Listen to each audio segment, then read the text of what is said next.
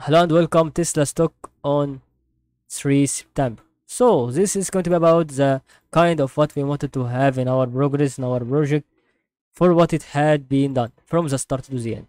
As you can see we have to do this with a slope line and another slope line. There's going to be our resistance, resistance and support one day.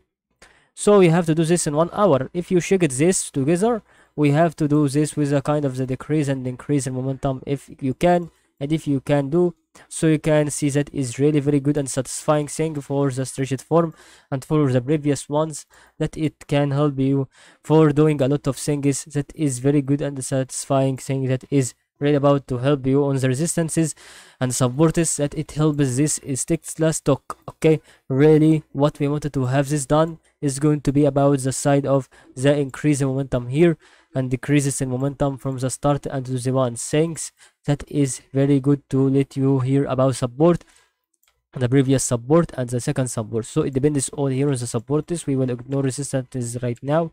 Supporters goes to blow up this. So we have to hit this support to make the side side. And that is going to be currently happening 100 percentage for the increase. But for the decrease i don't know. Maybe it can go for the increase because it's rarely goes for the middle process between this level and this level. And it can be cased can do this. Thank you for watching this video